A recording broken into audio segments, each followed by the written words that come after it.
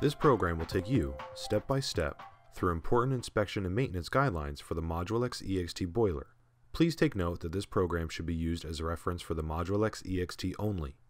This program is no substitute for the instructional manual that accompany your unit. These video chapters are an additional tool to help you operate your unit to its maximum potential. First, an important note of caution about your unit and its operation.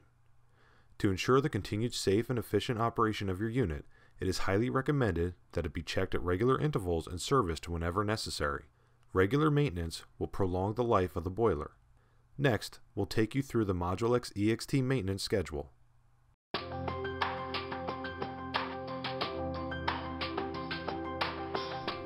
The following maintenance operations have been separated for you into two categories.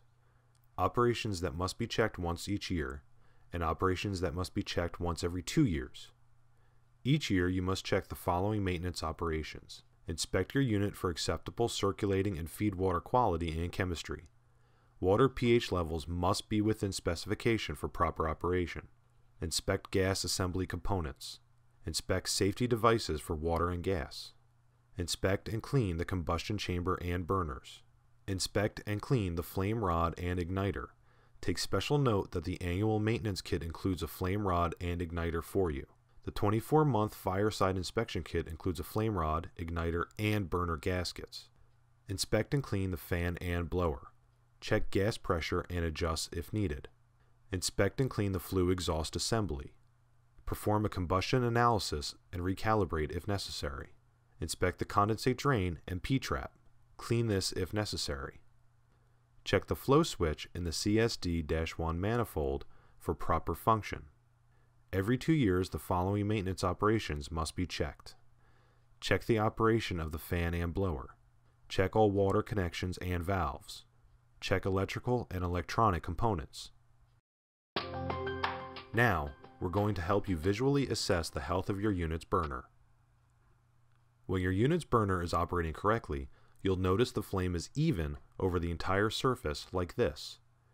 It should burn with a clear and stable flame that is clearly orange. You can check the flame by looking through the flame observation port on your unit.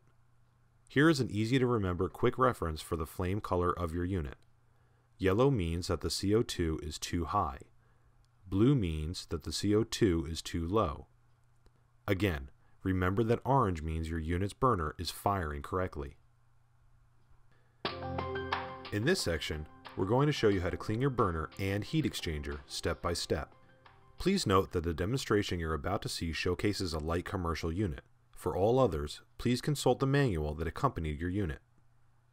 The infiltration of dust and other particles to the combustion chamber will cause a decrease of heating efficiency and output over time. This is due to the buildup of combusted byproducts onto thermally conductive surfaces. These surfaces must be cleaned from time to time to maintain thermal efficiency and heat output. To disassemble the unit for maintenance, perform the following as demonstrated. Switch the power to your unit off. Completely close the gas supply valve. Remove the top lid as shown. Remove screws from the top of the unit. These screws hold the front, rear, and side panels in place. Remove the panels by tilting away from the unit, then lifting up and out as shown. Remove screws from around the exhaust outlet opening. Remove the flue assembly from your unit. On each side of the air intake manifold, unlatch the spring clamps that hold it in place like this. Then, remove the hoses from the bottom side of the manifold. Then lift the entire manifold up and off of the unit. On each gas valve, unscrew the gas valve connector with a Phillips head screwdriver as shown. Remove the connector from each side of each gas valve. For the fan, remove the connectors. Take a 13 mm wrench and remove all of the nuts that are located between each burner plate.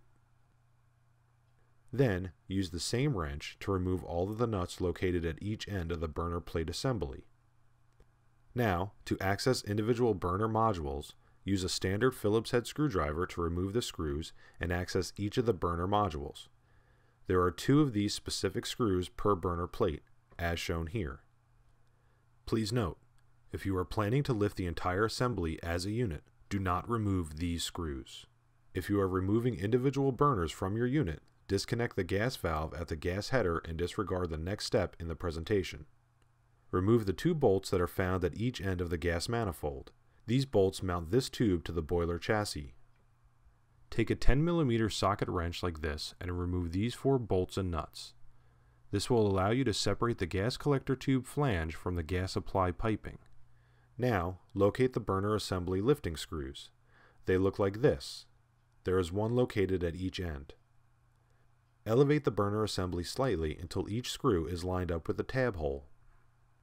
Then, unscrew the lift screw until it extends into the hole as shown here. Do this at both ends. If you are lifting all of the burners at once, lift up the front of the burner assembly until the two lift pins can be inserted at the left and right side as shown here. This will allow you to hold the burner assembly up. An important note, at this point, be sure to test the check valve to make sure it moves freely and closes properly. This completes our demonstration on how to properly disassemble your unit for maintenance. Now that the burner assembly has been lifted, you can easily clean the individual burner modules. In this section, we'll show you how that's done. Begin by carefully lifting each of the burner modules from its starting position. Remove both the module and gasket. The used gasket can be discarded because it will be replaced during reassembly. Important note, after each cleaning of your unit, the burner gaskets must be replaced. Now back to our demonstration. First, use only compressed air to clean the burners. You should blow air into the flame side of the burner mesh as shown. Now, visually inspect the burner mesh specifically at the L profile or the area where the mesh is welded to the frame. If the welds in this area are compromised or the burner mesh is damaged, the burner module should be replaced. After removing all of the burner modules, wash the combustion chamber underneath water.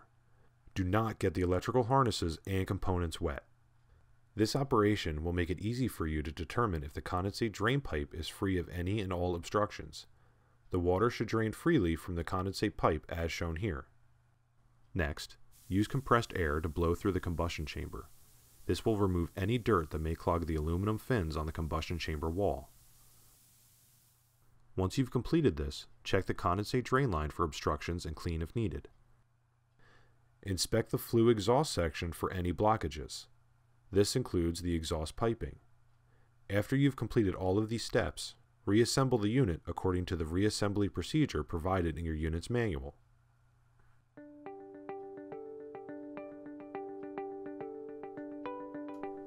To order the Modulex annual and 24-month fireside inspection maintenance kits, contact AERCO directly. More detailed information on available kits and part numbers can be found in the manual that accompany your unit. We hope you found this presentation to be a useful tool for learning about the best installation practices and design features of this AERCO product. Please remember that this program is no substitute for the precise and detailed instructional manual that accompany your unit. The video demonstrations you've just watched are only meant to provide you with another instructional resource for inspecting and maintaining your unit so it can operate to its greatest efficiency. If you have additional questions about your unit, please contact the local representative or dealer you purchased the unit from. If you would like to learn more about the Modulex EXT or other products in the AERCO family, please visit us at aerco.com.